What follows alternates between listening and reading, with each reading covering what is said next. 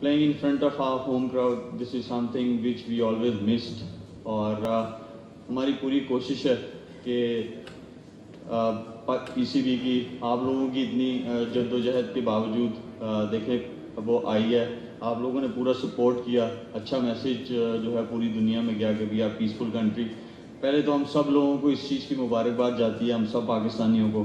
कि यहाँ पे श्रीलंकन टीम आई और मैं समझता हूँ ये पूरी दुनिया में बहुत बड़ा मैसेज है कि जिस टीम पे अटैक हुआ था, वही टीम पाकिस्तान में आई और वो यहाँ पे खेले और उनको जो हॉस्पिटैलिटी मिली यहाँ पे, वो आई थिंक वो जितना भी उनका शुक्रिया अदा करें और जितना हमारी जो फोर्सेस हैं जिन्होंने ये सक्सेसफुल बनाया, ना कि अगेंस्ट जिम्बाब्वे वर्ल्ड इलेवन और अब श्रीलंका। तो आई थिंक हम सबको बहुत ज़्यादा मुबारकबाद जाती है इस चीज़ की।